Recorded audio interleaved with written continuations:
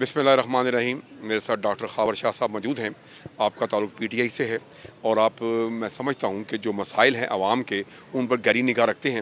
اور جو حکومت کی اگر، تھوڑا سا جائزہ لیا جائے، ڈیڑھ سال کی کارکردگی کا، تو میں سمجھتا ہوں ان سے بہتر اور کوئی نہیں بتا سکتا۔ میرے ساتھ موجود ہیں ڈاکٹر صاحب۔ ڈاکٹر صاحب، اگر مجموعی طور پر، ڈیڑھ سال کی حکومت کا پی ٹی آئی کی جائزہ لیا جائے، تو اسے آپ کیسے فریم کریں گے؟ بسم اللہ الرحمن الرحیم۔ میں یہ سمجھتا ہوں کہ ڈیڑھ سال میں بہت مشکلات کے باوجود پی ٹی آئی کی حکومت نے محنت اور اللہ پہ تقوی کر کے اچھا کام کیا۔ اس میں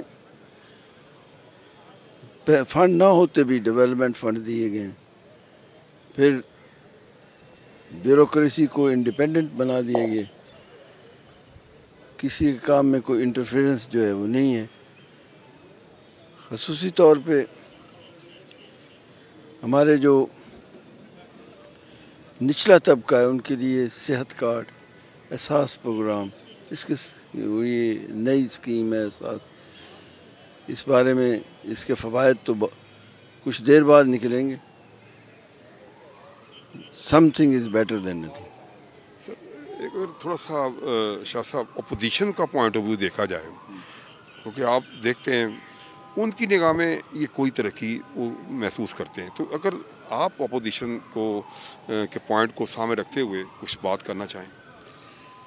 اپوزیشن جو ہے جی وہ جو بھی اپوزیشن میں ہو، اس کو اچھی چیز نظر نہیں آتی۔ اور وہ ہمیشہ کمزوریوں پہ نظر رکھتے ہیں۔ ہر ایک کی اپنا نظریہ ہے۔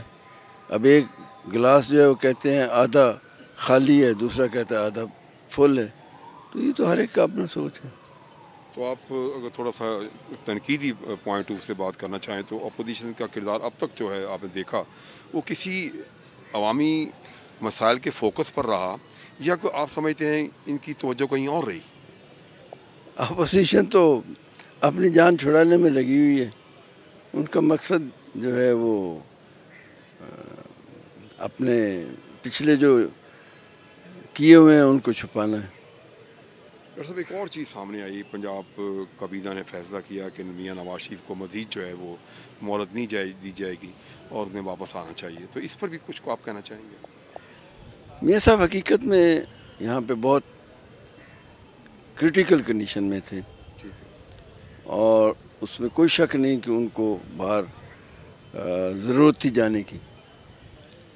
ان کے بھیجنے کا فیصلہ کورٹ نے کیا، حکومت نے نو آبجیکشن دیا۔ اس وقت جو ہے وہ ان کی ہارٹ اور برین کی جو وینز ہیں، سنا ہے کہ ان میں کچھ نقائص ہیں، بلڈ کم آ رہا ہے۔ تو اس سلسلے میں وہ ان کی رپورٹ آ جائے، پھر کچھ کیا جائے تو اب ڈاکٹر صاحب مجموعی طور پر جو میرا سوال تھا آپ مطمئن ہیں کہ آنے والے دن جو ہیں وہ عوام کی خوشحالی کے دن ہوں گے؟ دیکھیں جی مستقبل تو اللہ تعالیٰ جانتا ہے غائب کا علم بھی اللہ کے پاس ہے۔ محنت کرنی چاہیے اور اللہ پہ بھروسہ کرنا۔ تو آپ سمجھتے ہیں کہ اچھے دن آئیں گے؟